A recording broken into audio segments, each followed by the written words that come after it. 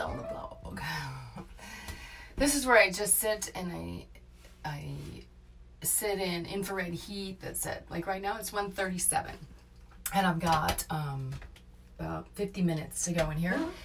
And this is where I like clear my mind, detox my body, meditate, envision the life that I would like to manifest.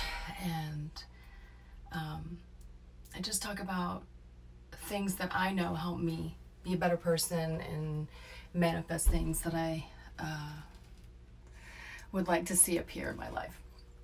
So, um, another week ahead, and this is going to be a big one because of the election. Now, I don't really like to get political because this is not necessarily the place for that, but I will say this.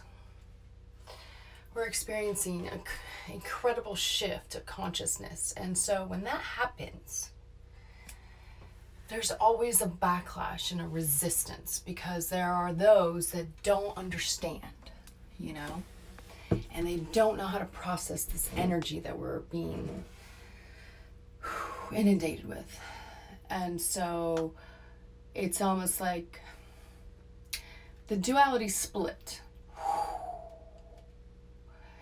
And I'm not saying that those that are not thinking from their heart or their third eye mainly from your heart, are, well, let's just say, I don't feel like the whole picture is being seen and that so many in the world are wallowing in fear and anger and hate you know and i don't understand why you know? I think it's fear of loss or fear of lack or fear of losing something that you never had. I don't know. But everything's about to shift.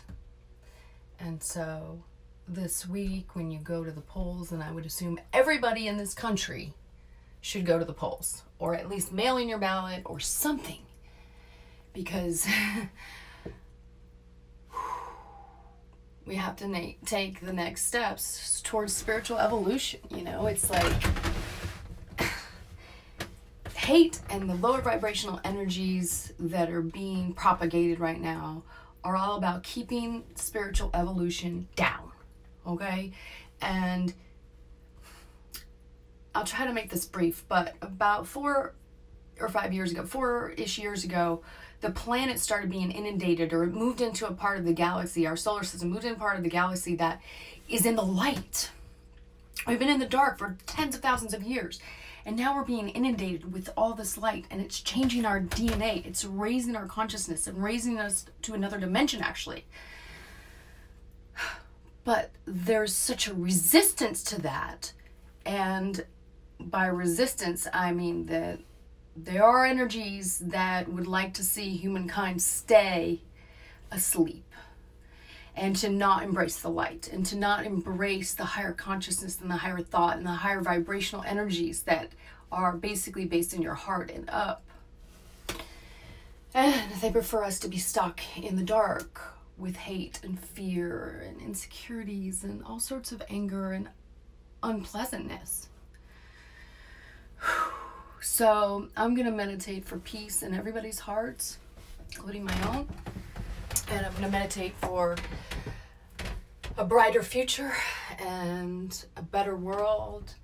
And I pray that everyone goes to the polls and that everyone looks into their hearts for the truth and what's best for humanity in its spiritual evolution. Okay, now I'm already sweating. I got 15 minutes and it's 135 degrees. Man, I'm dripping. I really, I'm literally dripping, dripping. Okay, so blessings to you all. Blessings, blessings, blessings, blessings. Oh, so I'm dropping my towel. Shoot. All right. I can't let go. Ah, peace.